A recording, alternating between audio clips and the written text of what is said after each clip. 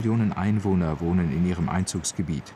Der Stadtkern verteilt sich über sieben Hügel. Zu Beginn des 19. Jahrhunderts war Tana kaum mehr als eine Ansiedlung am Fuß des Alamanga, des Hügels, auf dem die Rova, der Königspalast, steht, der 1995 durch Brandstiftung nahezu völlig abgebrannt ist. Der Neuaufbau geht nur sehr zögerlich voran. Im Stadtzentrum an der Avenue de l'Indépendance ist der Verkehr so chaotisch wie in anderen Großstädten. Das Stadtviertel Annalakeli reicht bis zu den Marktpavillons der Unterstadt.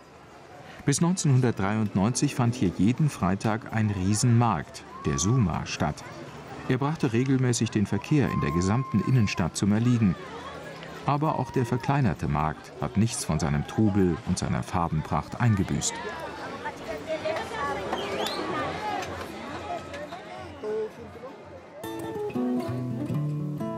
Westlich der Hauptstadt prägen alte Vulkankegel das Bild.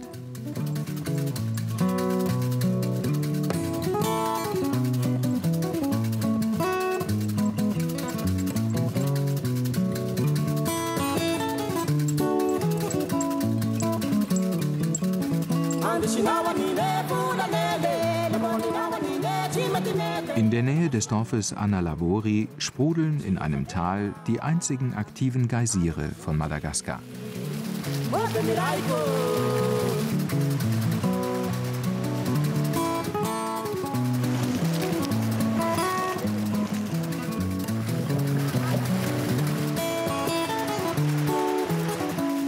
Nur wenige Touristengruppen finden den Weg hierher.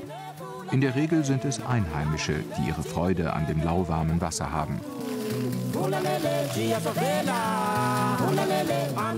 Wasser gibt es in dieser Region vergleichsweise im Überfluss. Hier war früher das Naherholungsgebiet für die Bevölkerung von Antananarivo. Eine ganze Reihe von Hotels bietet ihren Gästen einen beachtlichen Komfort.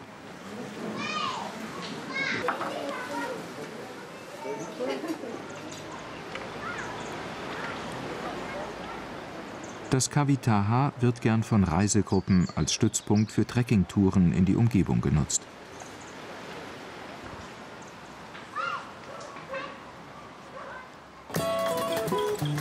Im Hochland herrscht ein angenehmes Klima. Es ist nicht ganz so heiß. In der nahen Umgebung warten eine Menge lohnende Ziele. Die Wasserfälle des Lili bieten sich beispielsweise für einen Tagesausflug an.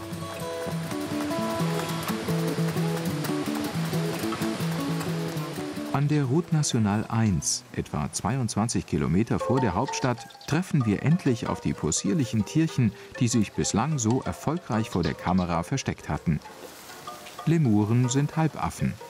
Sie sind endemisch, das heißt, es gibt sie nur in Madagaskar.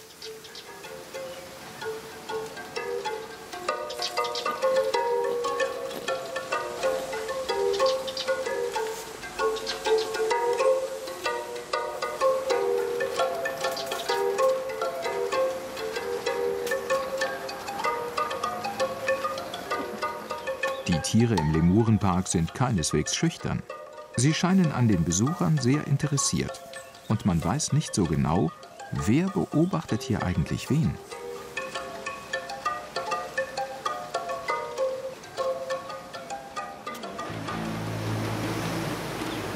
Das staatliche Schutzprogramm sieht vor, dass mit internationaler Unterstützung bis 2009 fast 50 Millionen Dollar in den Umweltschutz investiert werden. Bis dahin sollen die geschützten Gebiete auf 60.000 Quadratkilometer anwachsen. Das wären dann fast 10 Prozent der Landesfläche von Madagaskar. Hinter dem sperrigen Bergmassiv, das die weite Steppenfläche begrenzt, liegt der Isalo-Nationalpark.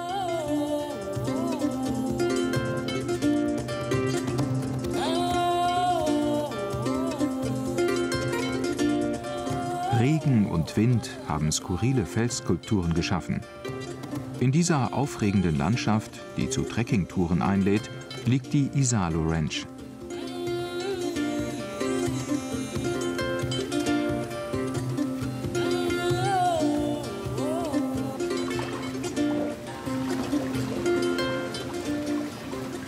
Mittlerweile ist es eine Mischung aus Individualtouristen und kleinen Reisegruppen, die ihren Weg hierher finden.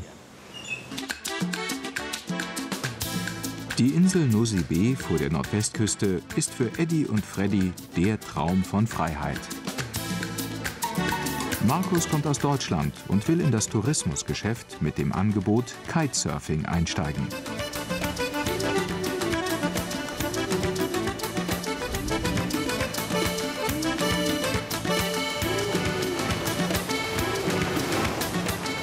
Learning by doing ist sein Motto.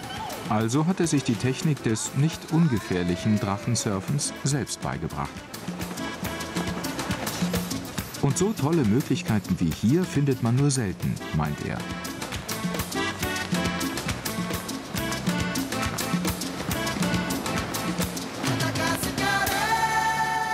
Weltmeisterlich ist sein Stil wohl nicht gerade. Hauptsache für ihn ist, dass es einen Riesenspaß macht. Das mit dem Geschäft wird schon werden, denn Madagaskar ist im Aufwind und die Touristen werden sicher bald kommen.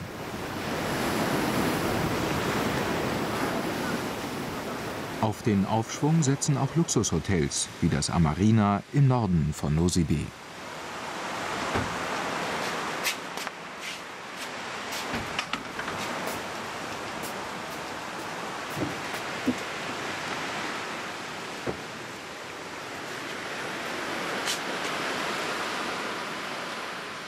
Die Anlage, die mitten in die Wildnis gebaut ist, kann man bislang nur über holprige Buschstraßen oder mit dem Boot erreichen.